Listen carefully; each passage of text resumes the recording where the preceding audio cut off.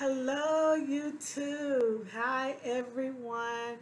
I'm so grateful for another week uh, and the opportunity to come before you again while things are just happening and moving all around the world. Just so many uh, issues and situations that we're hearing about. You may be even having your own issues and uh, chaos to deal with.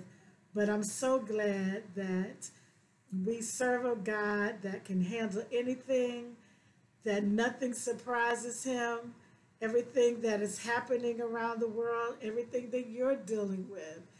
Uh, God saw it coming. He knew. He already planned for it. He already made a way of escape for you to come out of it. Uh, so it did not come to stay, as they say, it came to pass. So we're grateful for that.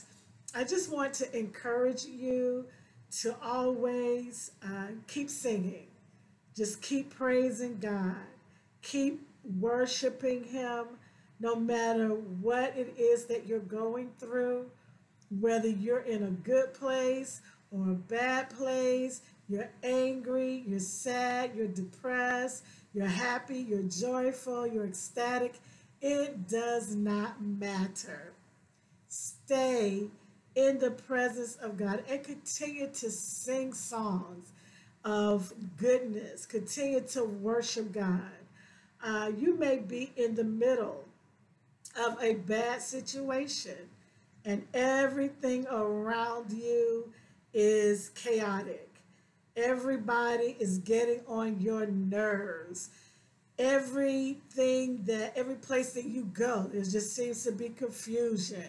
Confusion on your job, confusion at church, confusion in the store uh, or in school. It just doesn't matter. It just seems like it's just always confusion.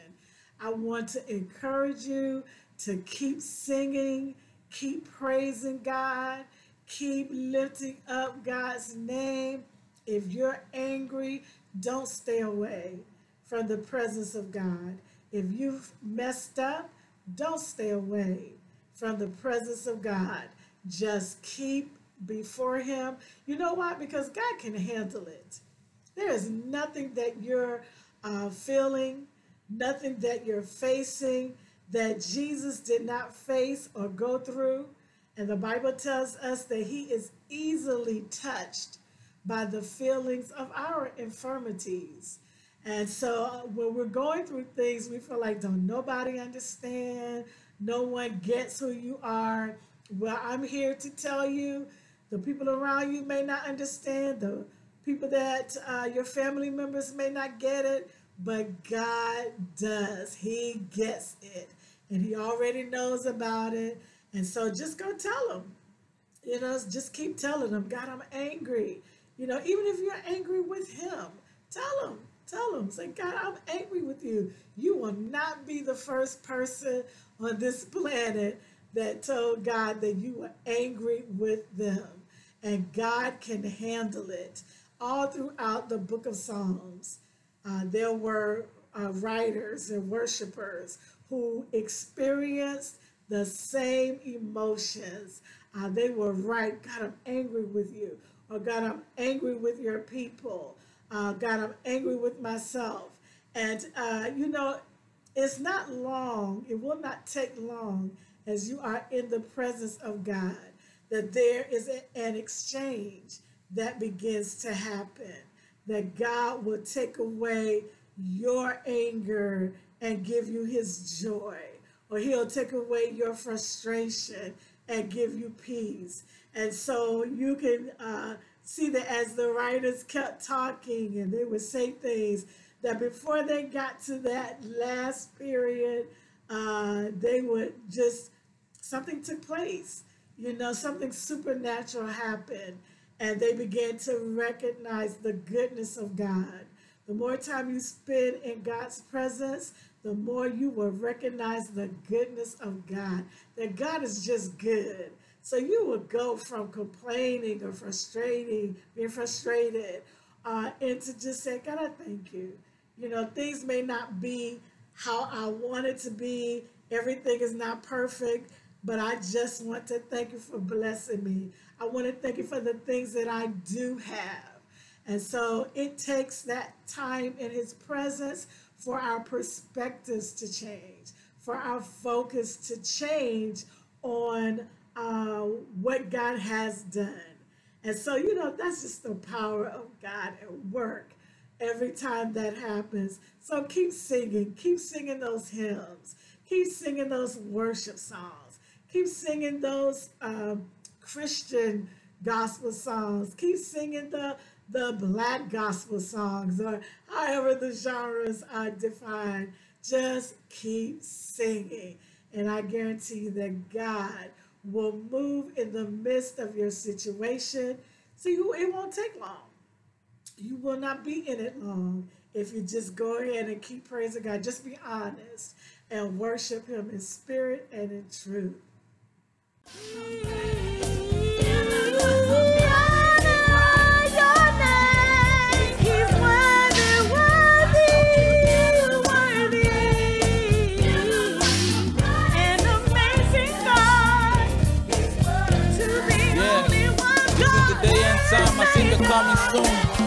The world is so dark and gloom.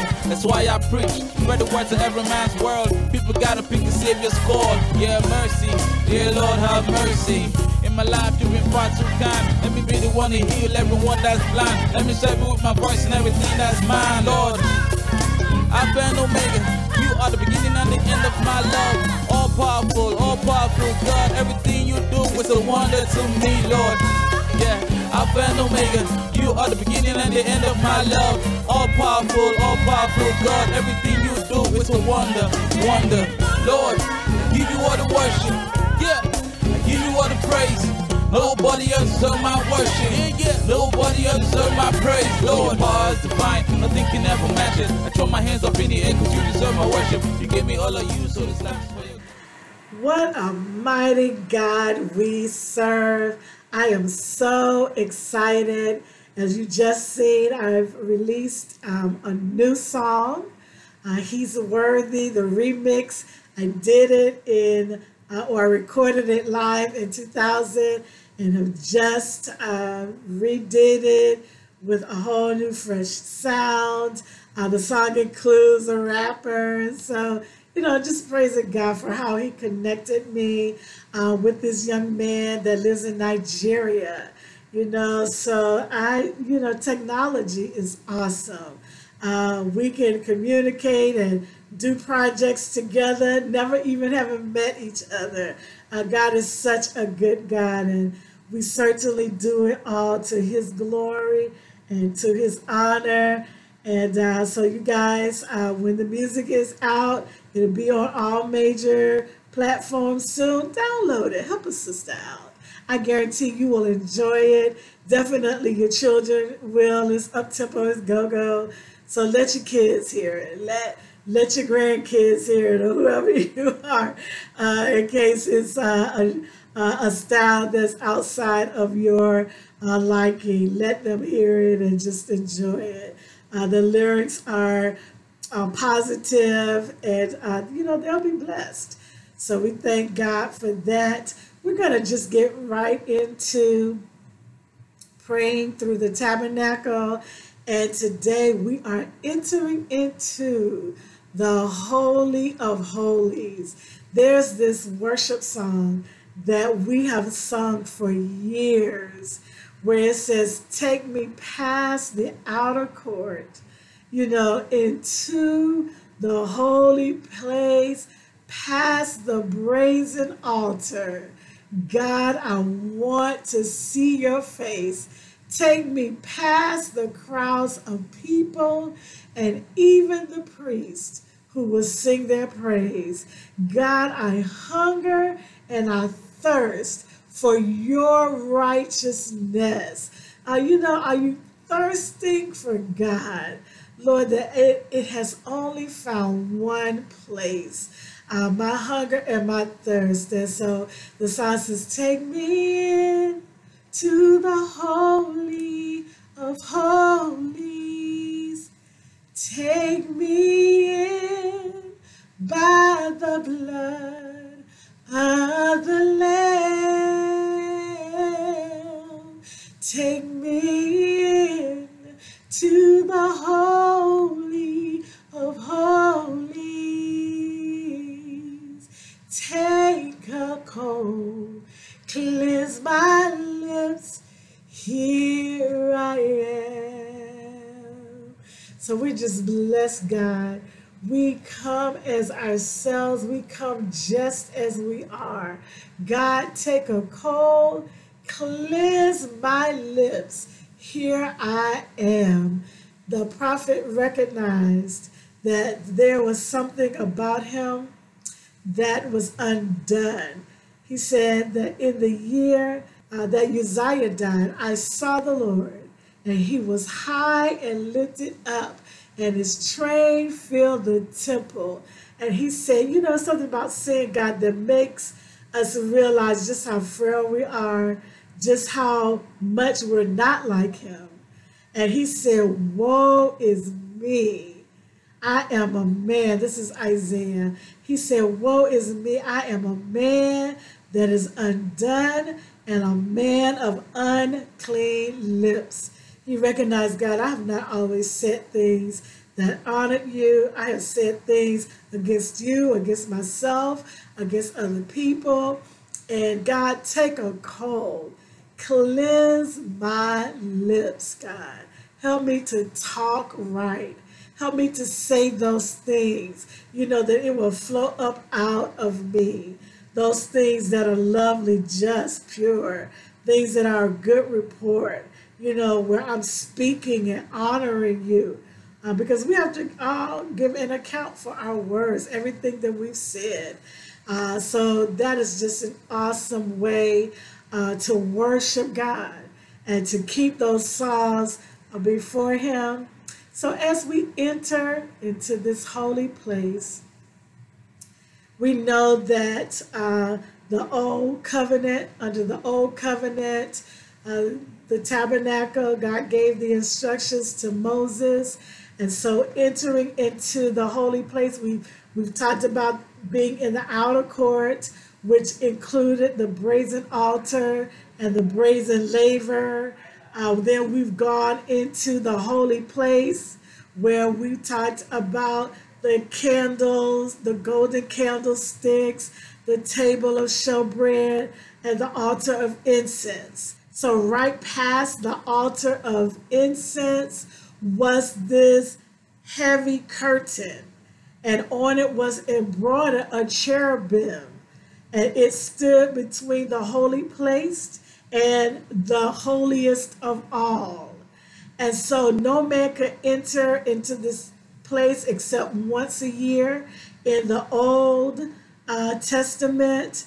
And so, just as the cherubims were placed uh, after God told Adam and Eve that they had to leave the garden, he put two cherubims with swords to guard uh, the Garden of uh, Eden so that they could not return. And so, symbolically, uh, the cherubim was embroidered with that same mindset that not everybody could enter in. Only the priests were allowed to go in once a year to make atonement. He would bring the blood of goats and bullocks as he was instructed to do. And uh, he would ask God for forgiveness for himself and on behalf of the people. He would lay that blood on the mercy seat, making atonement for himself and for the people. But praise be unto our Lord and Savior Jesus Christ. His body was torn on that cross. The veil in the temple was ripped from top to bottom by God Himself. It was God who ripped that veil giving us access to him. Before then, uh, men could not go before God without sacrificing the animals to get their blood for themselves. But Jesus did that when he placed his blood on that mercy seat, God accepted it and he was now pleased and ready to commune with man. And Paul wrote in Romans 5 and 1 now we have peace with God.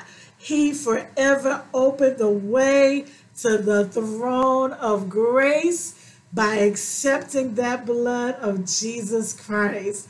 And I tell you, that ought to just make us want to run and shout because that's the good news of the gospel that we have access uh, to go into uh, that throne room uh, by ourselves. And we know that it is all because of the blood of Jesus being placed on that mercy seat. And we are told in scriptures that that blood is still speaking and it is speaking on our behalf. It is saying, Lord, forgive him. Lord, forgive her. Lord, strengthen her. Lord, heal him. God, help him with his family. Help him with his children. God, help him to succeed in that business. Whatever it is, that blood is speaking. Have mercy on them, oh God. Lord, help them to come out of uh, those areas of darkness. That blood is speaking. So no matter what the enemy is saying to you, no matter who is accusing you or what they are accusing you of, they may have told you that you were dumb, that you were stupid, that you would never amount to anything. You don't have to worry about that. Don't answer to that. Always know that the blood of Jesus is speaking for you around that throne room of God. And let me tell you something that's all that matters. All that matters is what God is saying about you and what He is thinking of you. And I can tell you that He is thinking well of you, that He is for you, and He's causing you to rise up and giving you a seat not because you're deserving of it, but because Jesus purchased it for you. And you can go and sit in heavenly places with Christ Jesus. Take your seat at that table. And no matter, it, it, no one can deny you access. No one can tell you that you're not welcome. No one can say to you that your invitation has been canceled. It is not in their power to do so. But Jesus has made a way for all of us to come and sit and partake of the goodness of God. Hallelujah. I'm telling you, if I could run around this house, I would do just that. So we are just so grateful Matthew 27 51 says, Then Jesus shouted out again and released his spirit. This is Jesus when he was on the cross. And uh, verse 51 says, At that moment, the curtain in the sanctuary of the temple was torn in two from top to bottom. The earth shook, rocks split apart Come on, it got dark on the earth, but that thing was accomplished. Uh, what God set out to do even before the foundations of the world. When Adam and Eve took of that fruit and brought on sin uh, onto all of humanity, on at that moment, at that time, it was taken care of uh, when Jesus shouted again and released his spirit. My God, glory to God. And so he offered once and for all his blood upon the mercy seat. He obtained eternal redemption for all mankind, bringing his redemptive work to completion. My God, everything that he set out to do uh, you know, since the beginning. It was finished, it was completed. And the scripture says, with his own blood, not the blood of goats and cows. Whatever was taking place in that outer court and that brazen altar, did not need that anymore. Not one of us need to sacrifice uh, goats and bullocks. Not one of us need to enter into that. We don't have to give our own blood. But he entered the most holy place once for all time and secured our redemption with forever. Forever and ever and ever and ever. Hallelujah. It that thing is done. So, you know, it would just be crazy for us not to enter in. You know, it would just be crazy for us not to do that. So Jesus' blood stretched all the way from the cross. Uh, that sacrifice to the atonement uh, and that mercy seat in the Holy of Holies. And so the cherubim that barred them for entering in had to go away because now they could come in we know that in Genesis 3:24, the scripture says, after sending them out, the Lord God stationed mighty cherubim to the east of the Garden of Eden, and he placed the flaming sword that flashed back and forth to guard the way to the tree of life. Guess what? That was done away with. That was removed because Jesus became our tree of life. He became life everlasting. Uh, he purchased it for us and gave it to us. So now there are no cherubims that are needed to stand to guard the way into that holy place. We can come in 24 7. And uh, so we just glorify God that Jesus is now uh, forever giving us access into that. He is the way. And I know that there are other religions that argue that. We can't worry about that. All we can worry, uh, worry about is just knowing that truth and receiving that as uh, for ourselves. That Jesus is the way that we come through him. He is our access to God. And so uh, you need to believe that what with your whole heart. You need to believe that with your whole heart that Jesus is the way and that he gives you access to come before God with whatever it is that you're facing. You need to teach your children that, your grandchildren, Teach your community. Teach the young women. Teach the old women that Jesus is the way. Hebrews 10 and 20 says, By his death, Jesus opened a new and life giving way through the curtain into the most holy place. Amen. Oh my God. Take me in to the Holy of Holies. Take me into that place and take me in by the blood of the Lamb. Glory to God.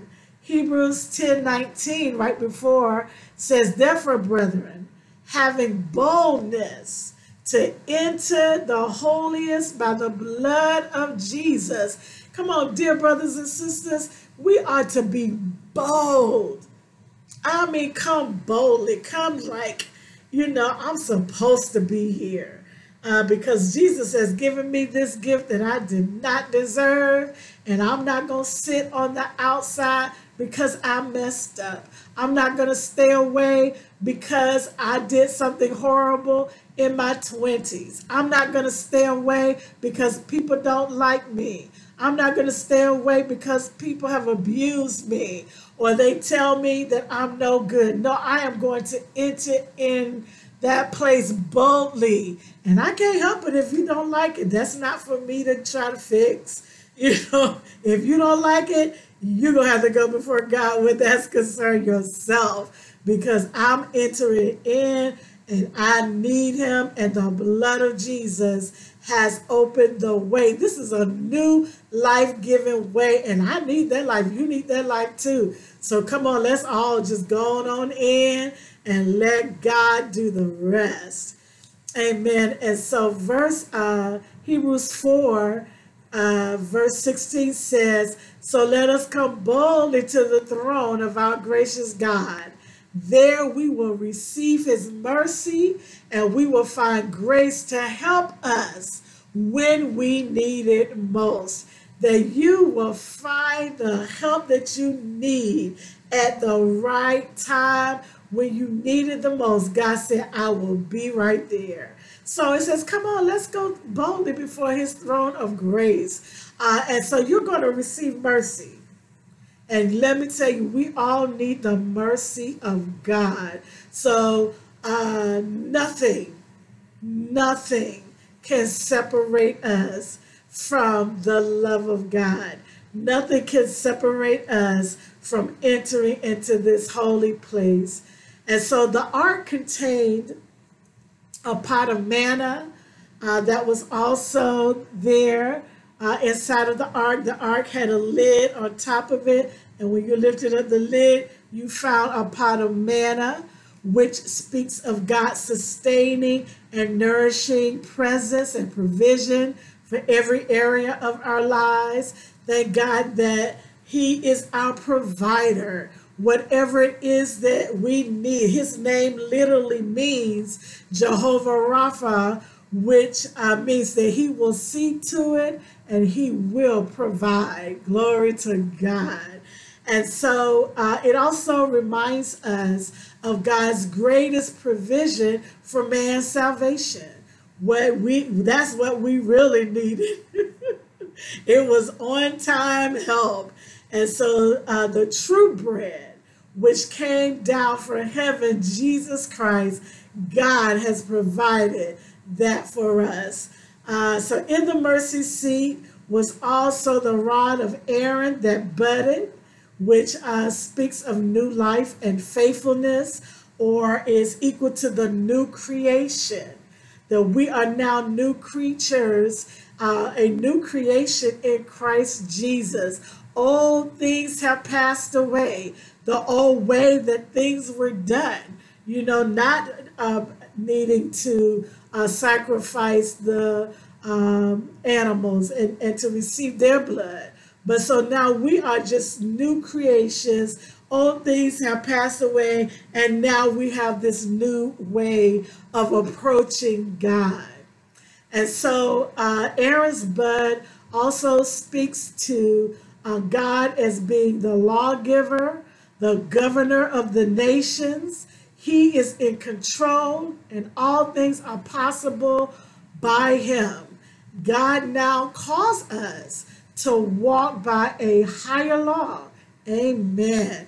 One which is written by his spirit upon our heart. The ark of uh, the tablets were also there in the ark. The tablets were also there in the ark. Those 10 uh, commandments uh, were there. But now God is calling us to walk by a higher law. He has written those laws upon our heart. And Jeremiah 31, verse 31 says, The day is coming, says the Lord, when I will make a new covenant with the people of Israel and Judah. This covenant would not be like the one I made with their ancestors when I took them by the hand and brought them out of the land of Egypt. They broke that covenant though I love them as a husband loves his wife, says the Lord. But this is a new covenant I, that I will make with the people of Israel after those days, says the Lord. I will put my instructions deep within them, and I will write them on their hearts. I will be their God, and they will be my people. And they will not need to teach their neighbors, nor will they need to teach their relatives, saying, You should know the Lord. For everyone, from the least to the greatest, will know me already, says the Lord. And I will forgive their wickedness, and I will never again remember their sins. you know, listen, we, just need to stay in the Word because that would just correct a whole lot of negative thinking for us. And so this is Jeremiah prophesying uh, the days and times in which we live. These things have already done. We are already walking in that new covenant. We are uh, have been accepted into it. We're not Jewish, come on, but because they wouldn't come, God used the Apostle Paul to go out and minister uh, to the Gentiles. And so if you're not Jewish and you're of another nationality, but you've accepted Jesus Christ, that praise God, that includes us too. We are spiritual Israelites according to scripture, and all of this applies to us. He has written his laws upon our hearts. Every man, it says. So every man knows God, has the opportunity to not just know him, but to get to know him more. Uh, God will make himself known to every man. Now, it's up to them whether or not they receive it, but God says, hey, don't worry about this. I'm God. I can take care of that. And he said, I will forgive their wickedness and I will never again remember their sins. So really, nobody has to um, die and go to hell. No one has to because that way has been made for everybody. And then in Hebrews chapter 8, we have the New Testament version of uh, this writer quoting Jeremiah. And so he says, But this is the new covenant I will make with the people of Israel on that day, says the Lord. I will put my laws in their minds, and I will write them on their hearts. I will be their God, and they will be my people. And they will not need to teach their neighbors, nor will they need to teach their relatives, saying, You should know the Lord. For everyone, from the least to the greatest, will know me already. I and I will forgive their wickedness. I will never again remember their sins. So, you know, you have uh, the new writer, the New Testament writer, that is quoting what Jeremiah prophesied thousands of years uh, before. And he's saying, We're in it. Here it is. You know, we're in this new covenant. We have this oh, we have this new way. We don't have to do things the way that they are. Uh, we don't have to worry about uh, those Ten Commandments being outside because they're written in our hearts and we have it. God reminds them of it. It is in us and it leads us and it guides us. Whether we listen to it or not, it's there and it speaks. Praise God. So in Second Corinthians chapter 3, Paul is writing about the glory of the new covenant. And he says, the old way with laws etched in stone led to death, though it began with such glory that the people of Israel could not bear to look at Moses' face, for his face shone with the glory of God, even though the brightness was already fading away. Shouldn't we expect far greater glory under the new way now that the Holy Spirit is giving life? If the old way, which brings condemnation, was glorious, how much more glorious is the new way, which makes us right with God. In fact, the first glory was not glorious at all compared with the overwhelming glory of the new way. So if the old way, which has been replaced, was glorious, how much more glorious is the new, which remains forever. Oh my God. So it said, yeah, you know, Moses went up to the mountain, God spoke to him face to face. uh, and he received the commandments of God that we know as the Ten Commandments. And because his face shone so brightly, he had an encounter with God. But when he came down off that mountain, it says, even though the brightness was glorious, but it was fading away. But we, under this new covenant, we have an experience with God just like Moses had an experience with God. And we can talk to God face to face, just like Moses did. And guess what? There is no more veil. There's no more veil that needs to be between us and the glory of God. So we pick right up with verse 12. It, uh, this is so awesome. It says, Since the new way gives us such confidence, we can be very bold. There's that being very bold again. We are not like Moses, who put a veil over his face so the people of Israel would not see the glory, even though it was destined to fade away. But the people's minds were hardened, and to this day, whenever the old covenant is being read, the same veil covers their minds so they cannot understand the truth. And this veil can be removed only by believing in Christ. Yes, even today, when they read Moses' writings, their hearts are covered with that veil and they do not understand.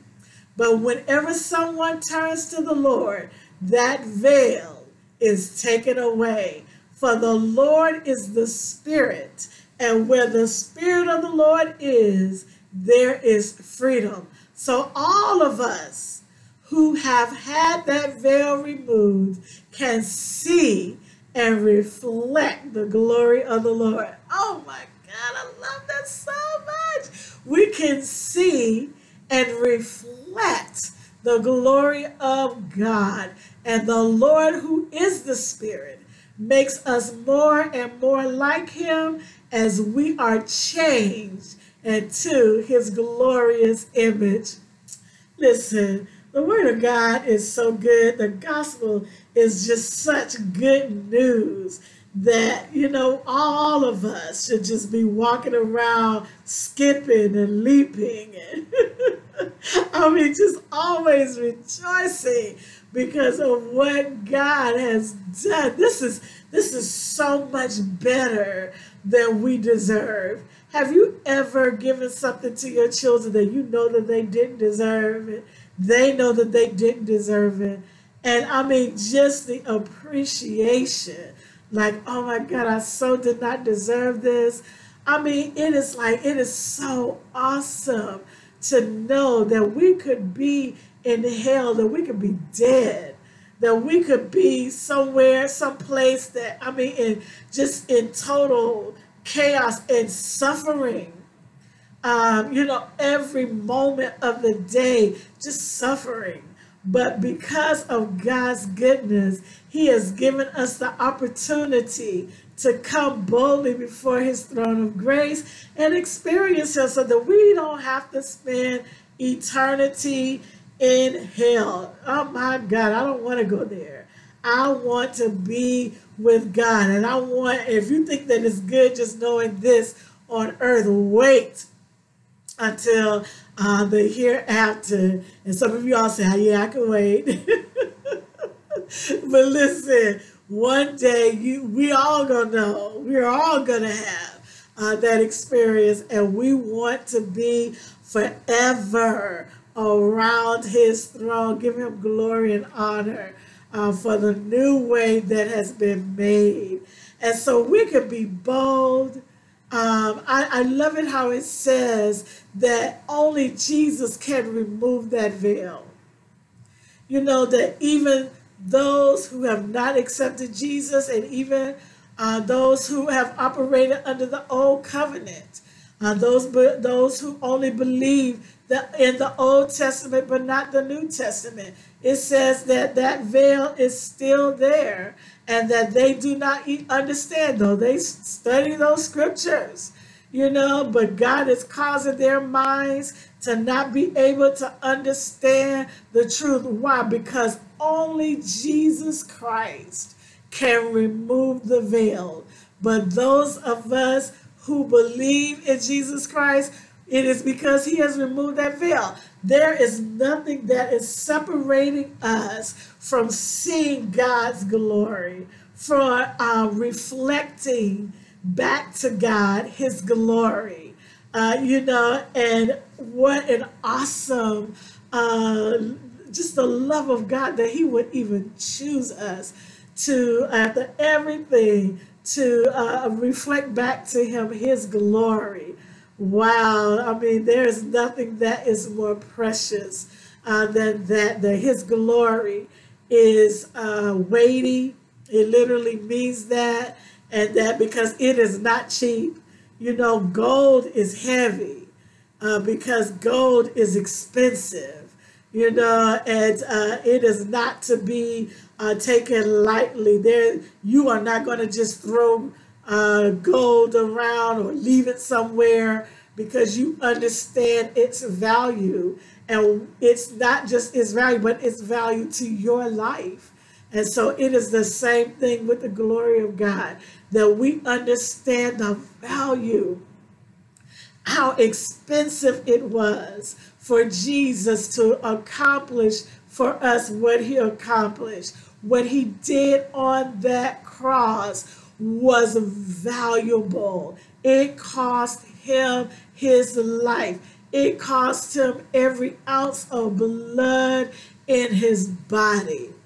When they whipped him and that blood, his flesh was torn, it cost him everything. All of his blood has been placed upon the mercy seat. And I tell you, we could come in and just talk with God, no more veil. I think this is what I'm gonna call this. If I didn't tell you what the name of this uh, teaching is, I'm calling it No More Veil. Amen. The Holy of Holies. No more veil. Thank you, Holy Spirit. I appreciate that because I was searching for a name to title this. There it is. So James 2 and 8 says that we have been given the royal law of the new covenant. Uh, you know, out of all those laws that was written under the new covenant says, hey, look here, these are the ones that is the one law that is most needful. And James 2 and 8 says, yes, indeed, it is good when you obey the royal law as found in the scriptures. Love your neighbor as yourself. And you know, the, the, the, in another place it says, love the Lord God with all your heart and love your neighbor as yourself. That is the one law that we uh, need to uh, definitely keep, keep and to uh, before us devote our lives to keeping it uh, and because in uh, Matthew it says that all of the other laws hangs on this one law. So if we're keeping this one law, guess what? We can keep all the others. We can uh, keep, thou shalt have no other gods before me. Thou shalt not commit adultery. Thou shalt not covet thy neighbor's wife. You know, these things. Uh, we can keep these, uh, all these other laws when we keep that royal law. We call it the royal law of love. Amen. So the mercy seat on the ark is now covered with the blood of Jesus. We receive mercy and grace to help in time of need at this throne of God's grace. We also plead on behalf of others asking for mercy on their behalf. You know, we come before God in prayer, but we don't just come on our behalf because we uh, have those that we know about their situations and maybe they can't come before God. Maybe they don't know that they can enter in boldly. So we begin to intercede, literally stand in the gap the same way that Jesus stands in the gaps, uh, in, in the gap for us and is praying for us daily we can do the same thing. We can imitate him in that kinds of prayer. So we want to place definite prayer requests as we enter into that holy place. Look, since you have that opportunity to go in, talk to God, you know, about your life, uh, you know, and be definite. God, I need you to heal my body. Be definite, be, uh, be specific. God, I need for you to heal my mother. Or, Lord God, my children. Or I need, God, for this business to succeed. And let me tell you something. The good news is, is that it pleases God to give to us the kingdom of God. You know, where if we broke, we don't have to be broke anymore. If we sick, we don't have to be sick anymore. The scripture says, no good thing will I withhold from you? God is talking to us. He says, I'm not going to withhold this from you. And he has uh, grant to us uh, uh, access by using the name of Jesus. We went through all of that in the um, when we were talking about the holy place. You know, that anything you ask in my name, the scripture says, I will give it to you freely in accordance with his will. So we pray according to the will of God. Like we're not asking for things that's outside of his will. Like you don't want to covet what someone else has. You know, like someone's wife and say, God, well, I want her. You know, no, that's not in accordance with God's will. But God will give you your own wife. and he would not withhold that from you or your, or your own husband. So we just allow the spirit of grace uh, supplication. That's when you're coming before God on your behalf. And intercession when you're coming before God on behalf of, of others. We want to pray for our nation. Pray for your nation. You, you know, we're, we're going through some things. Uh, we're going, we're still in the midst of COVID-19. We all should be praying around uh, that mercy seat, calling upon the mercy of God on behalf of this nation and other nations around the world. So while we're there, we want to pray for our families, pray for our church, pray for our loved ones. Allow the Spirit of God to lead uh, us and to counsel us and uh, give us plans, show us the plans of the Father. Uh, that we are praying for His will to be done on earth as it is in heaven that we're uh, connected to that. We're in sync with that, that God give us this day our daily bread and forgive us of our trespasses as we forgive those who have trespassed against us. And we'll pray, God, thy kingdom come, thy will be done on earth as it is in heaven. We're declaring that God's will is going to be done on earth, regardless of what is happening, no matter how men are acting, no matter of the principalities and powers and rulers of darkness, God's will is going to be done right here on earth. And we are in pursuit of that thing. We are relentless because of the anointing of Jesus Christ that is on us, and can no devil in hell stop the anointing of Jesus Christ. And so we're not going to allow the enemy to uh, to take us away, to pull us away, to cause us to run away from the presence of God. We might have to run away from some people. As a matter of fact, it might be good to get away from some people but not the presence of God, not understanding what Jesus has accomplished. So you want to use uh, the Lord's Prayer as a model for you and, and uh, just every time that you come in, but that you are seeking God.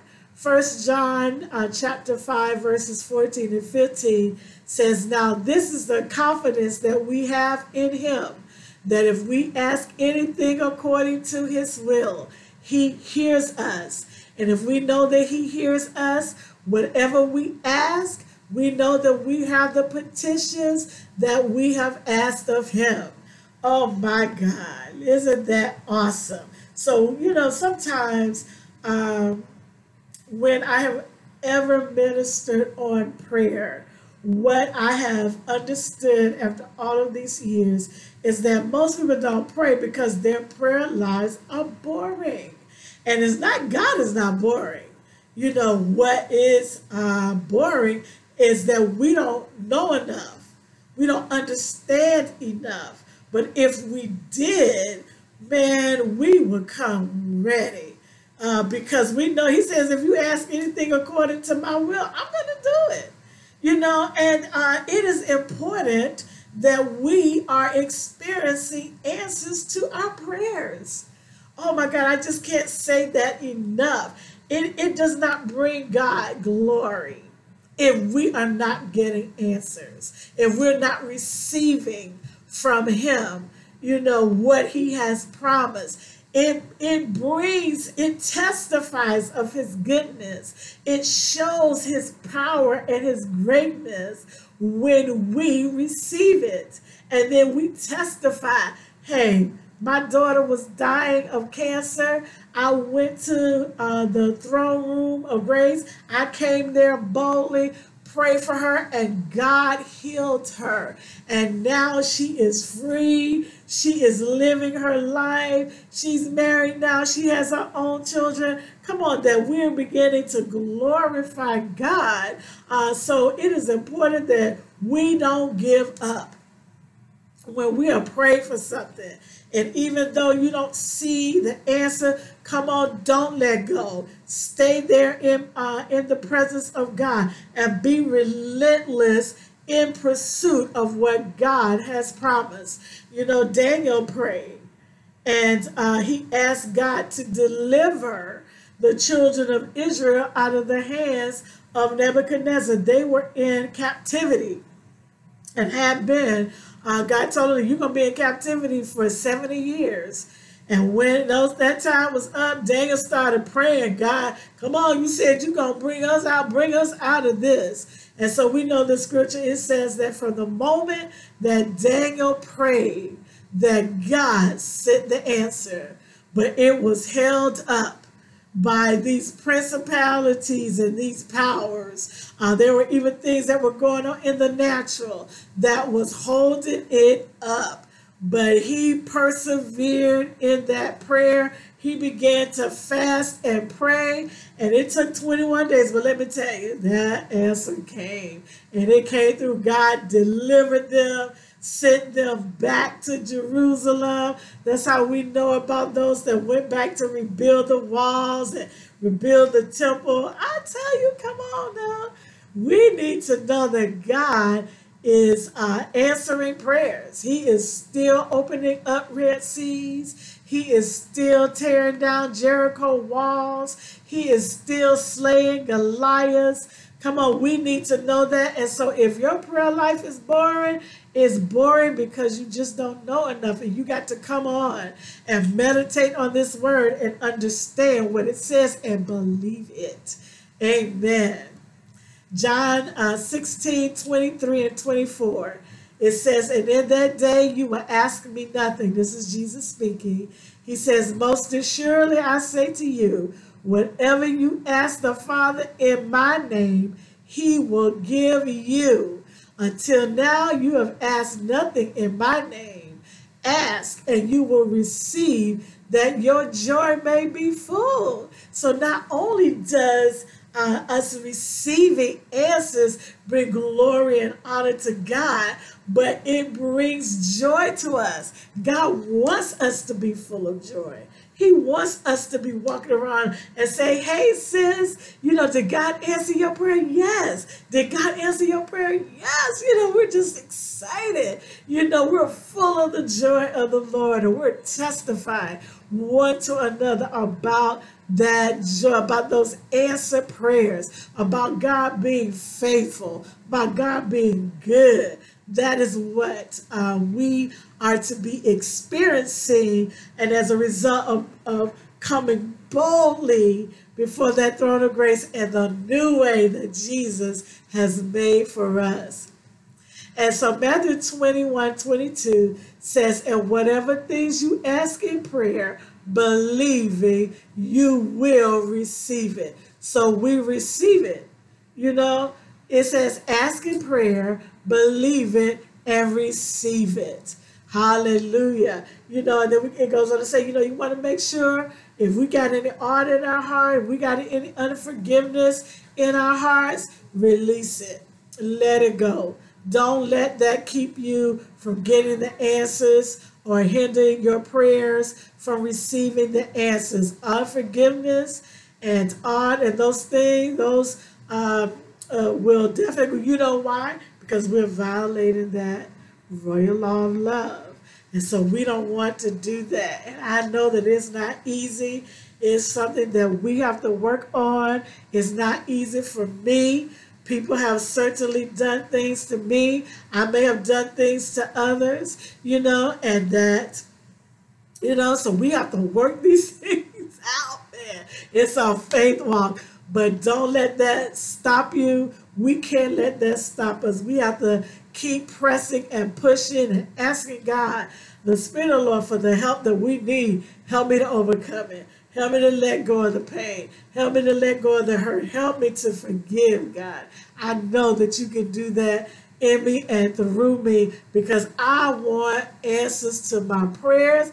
I want the joy of the Lord. Amen. I want God's name to be exalted in this earth for his kingdom to come and for his will to be done.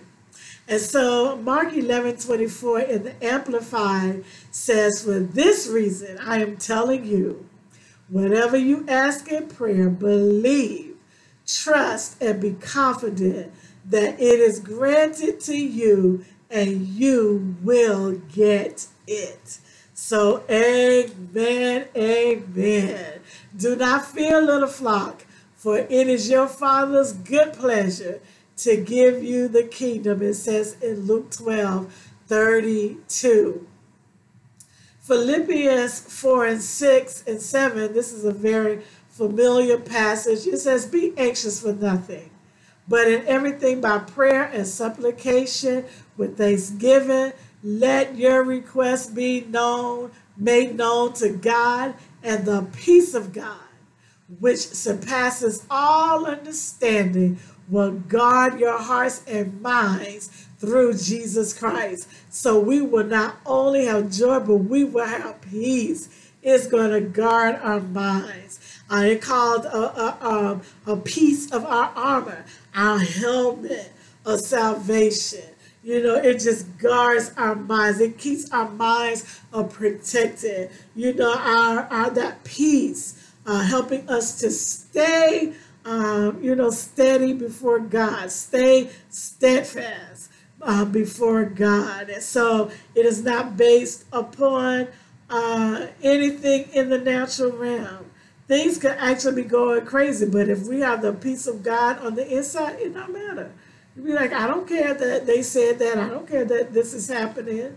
I don't care that, uh, you know, it seems like it's turned upside down, but I have the peace of God about it. So I know that his kingdom is going to come and that his will will be done where that situation is concerned. So we don't have to be anxious. You know, if you're walking in any uh, anxiousness in your life, I'm telling you the reason why. You have not come boldly before that throne of grace and began to talk to God. You have total access uh, and it doesn't matter what it is that you've done. It doesn't matter how you feel about it. Just go in there and do it. You know, just do it. Do it afraid, as our sister Joyce Myers said. Uh, so do not be deceived, my beloved brother. Every good gift and every perfect gift is from above and comes down from the Father of lights, and where there is no variation of shadow of turning. So every good and perfect gift comes from God. So if we're going to get it, we, we have to go before him and ask for it. We have to ask for it in prayer, you know. Uh, and it says, and when you pray, you shall not be like the hypocrites, for they love to pray standing in the synagogues and on the corners of the streets, that they may be seen by men. Assuredly, I say to you, they have their reward. But when, but you, when you pray, go into your room, and when you have shut your door, pray to your Father who is in the secret place, and your Father who sees in secret will reward you openly. There's a secret place for all of us.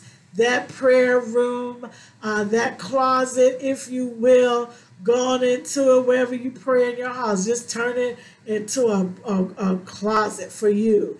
You know, uh, I remember the testimony of the mother uh, who was taking care of her uh, children. And I think this was John Hagee's wife. And so she didn't have time, you know, getting the kids ready off the school. You know, she would just throw the apron over her head and pray while she was serving the kids. You know, you could turn anything into a prayer closet. You just want to pray and just stay before God, and God is going to show you that He heard you by rewarding you openly with your request. And so when you pray, don't use vain repetitions, it says. Don't be like the hypocrites, you know, for they think that they will be heard by their many words. It's not about that. You know, it's not about being able to say the right thing or, you know, coming up. Just speak from your heart. Uh, whatever it is, there is no protocol. You know, just talk like you would to anybody else. So thank God for that. Be who you are and come just as you are. You could be messed up. You could be a drug addict. You could be an alcoholic. You could be a prostitute. You could be a wife beater. You could be a child molester. You could be a murderer. Come on now, we just need to get real about this. I don't care who you are. You know, sure, the, the men think that these things are despicable. And some may even tell you that God will never forgive you for it. Not true, not true, not true. I'm here to tell you you have access because Jesus has made a way for everybody, and that certainly includes you. So go ahead and forgive yourself. Go on in there and talk to God and be relentless about it. I don't care who you are or what you've done. I don't care how long you've been doing it. Go ahead and talk to God. Go allow him to show himself strong in your life. Give him a chance. Give him the opportunity and he will show you that he that he's hurt you and that he will reward you openly. That everybody will know that God heard your prayer and that he answered you. The mercy seat, the blood of Jesus is on that mercy seat. And it is not based upon you, it is based upon that blood that Jesus, so you can say, Thank God for the blood, or that I plead the blood over myself. I appropriate the blood of Jesus to my life and the situations that I'm dealing with. So the mercy seat is speaking on our behalf. He will speak to us. Uh, he will give to us visions, dreams, answers to our prayers. And this is the place of receiving from God at that mercy seat. Here at that mercy seat, we are changed from glory to glory and from faith to faith. Let's uh, never leave the presence of God. We don't have uh, to leave. We can be full and fulfilled knowing that he is pleased with us and that his love, his power, and grace is now flowing from us to others. My God, my God. when you come out of your prayer closet, you should come out of there completely full and fulfilled. My God, my God knowing that you are pleasing God and that you are pleasing to God. Oh my God, you are pleasing to God. He delights when you come and talk to Him. He loves it when we all come. He he's loving this time right now. I just sense his joy and his presence and you know he's right here with us and he's rejoicing with us and he's in it he has uh, he is enabling us uh, to just be filled with his presence to the full to the overflow and to have his power and his grace that is now flowing from me to you amen so you're gonna go tell somebody else and then it's gonna flow from you to them so praise God. We're just uh, excited. Our expectations should always be of Him. Always because He's given to us a new life. He's given us a new law of love. He's given to us His provision. Not only that, we get to fellowship with the Father and we can intercede for others. This is what having access into the holy place means that we can have all of these things uh, operating uh, in us. We come boldly to the Holy of Holies by the blood of Jesus, and we draw near with a true heart in full assurance of faith that what God has promised, He is also able to perform it. Glory to God. I hope that you have enjoyed this entire series. Um, go back and listen to the brazen altar, listen to the brazen uh, laver, listen to the Trinity and the holy place, and then you definitely want to, to uh, share it with others. And so I thank you for joining me. I'm praying that God bless you, that the blessings of the Lord will overtake you. I mean, literally chase you down and surprise you with things that you didn't even ask for. That God would just bless you simply because He loves you. Again, thank you so much, and I'll see you next time.